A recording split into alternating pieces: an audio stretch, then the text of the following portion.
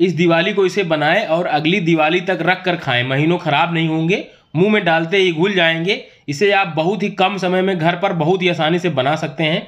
इसे बनाने के लिए कौन कौन सी चीज़ें प्रयोग होती हैं कौन कौन सी ट्रिक यूज़ होती है, साथ ही साथ इस वीडियो में टिप्स बताने वाला हूँ। तो चलो दोस्तों, शुरू करते हैं। सबसे पहले एक बाउल में हम लोग दो कप मैदा डालेंगे।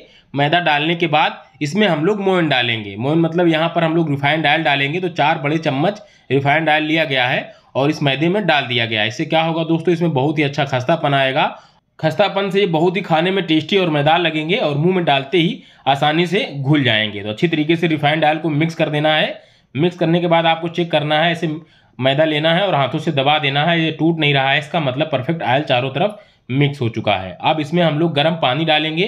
तो यहाँ पर मैंने गर्म पानी लिया है लगभग आधा कप और थोड़ा थोड़ा पानी डालकर इसका डो रेडी कर लेंगे। थोड़ा थोड़ा गुनगुना पानी डालकर इसका डो हम लोग रेडी कर लेते हैं। गुनगुना पानी इसलिए डाला जा रहा है दोस्तों, ताकि आसानी से और जल्दी से इसे हम लोग बना सके। गुनगुना पानी से ज़्यादा समय नहीं लेगा रेस्ट होने में।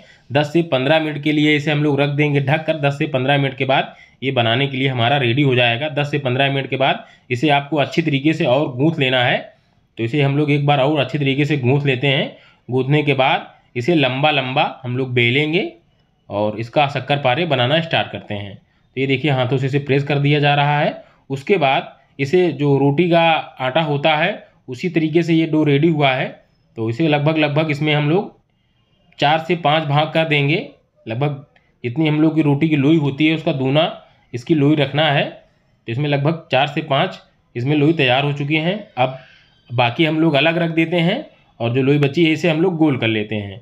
हाथों से इसे गोल कर लेंगे। गोल करने के बाद आपको किसी पटरे पर या किसी चीज़ पर इसे बेल लेना है और थोड़ा सा मोटा ही बेलना है। रोटी जितनी मोटी होती है, उसका दूना हम लोग को मोटा बेलना है और ये फूलेंगे और अंदर इसके जाले पड़ जाएँगे। आगे मैं वीडियो में बताने वाला हूँ, ये देखिए, बिल्कुल रोटी के जैसे गोल। इसको बेल लिया गया है, एक चाकू लिया गया है और इसे हम लोग काट देंगे। आप थोड़ा सा इसे लंबा साइज़ में बनाया जा रहा है। इसे कई तरीके से बनाया जाता है। अपने अनुसार साइज़ बड़ा या छोटा कर सकते हैं। इसे थोड़ा सा लंबे और चौकोर टाइप में इसे हम लोग काटेंगे।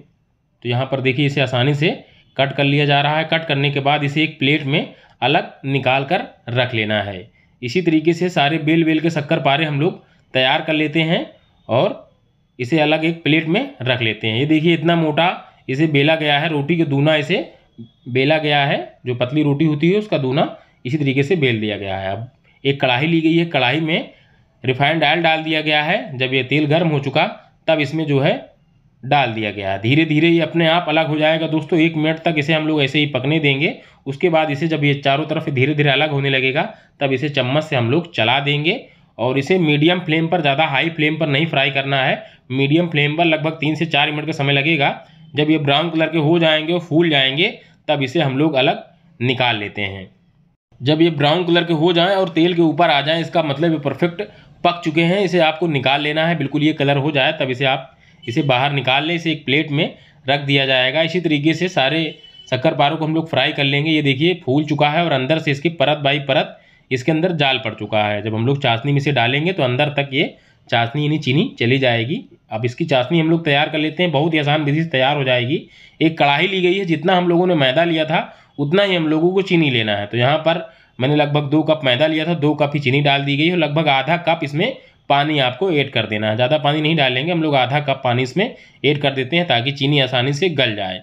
इसके बाद इसे हम लोग चलाएँगे जब ये चीनी गल जाएगी, तब तक इसे हमको चलाते रहना है और लगभग लगभग तीन से चार मिनट के अंदर चीनी हमारी गल चुकी। उसके बाद जब चीनी गल जाएगी, तब इसे हम लोग एक मिनट तक ही चाशनी को उबालना है। एक मिनट के बाद ये परफेक्ट बनकर चाशनी रेडी हो चुकी है। परफेक्ट माफ़ है तो परफेक्ट आसानी से चाशनी बन जाएगी। और इसमें जो शक्कर पारे हम लोगों ने फ्राई करके रखे थे, इसमें इसमें डाल देना है और डालने के बाद गैस फ्लेम को बंद कर देना है। ध्यान रखना है दोस्तों कि गैस फ्लेम को हम लोग चाशनी वाली बंद कर देंगे, फिर इसमें डाल देंगे और कढ़ाई में डालने के बाद इसे चलाते रहना है। बीच बीच में इसे हम लोग चलाते रहेंगे, लगभग एक से दो मिनट तक हो जाएगा, तब इसे चलाते रहेंगे ताकि आपस में चिपके ना और धीरे धीरे ये जो चाशनी जैसे जैसे ठंडी होगी, आसानी से ये सूख जाएगी और अंदर तक चली जाएगी चाशनी। सूख लेगी और बाहर से भी धीरे धीरे सूखना स्टार्ट हो जाएगी। ज़्यादा टाइम नहीं लगेगा चाशनी को सूखने में, लगभग आठ से दस मिनट के बाद इसे आपको बीच बीच में चलाते रहना है ताकि ये चिपके ना। उसके बाद इसे आप एक अलग बाउल में निकाल लें और अगर आप इसे स्टोर करना चाहते तो एयर टाइट डिब्बे में बंद करके रख दें, महीनों ख़राब नहीं होंगी। और जब भी मन करे इसे आप खा सकते हैं। मैं इसी तरीके से आपके लिए ढेर सारी नई नई वीडियो लाने वाला हूँ। तो मिलते हैं इसी तरीके से एक नई वीडियो के साथ।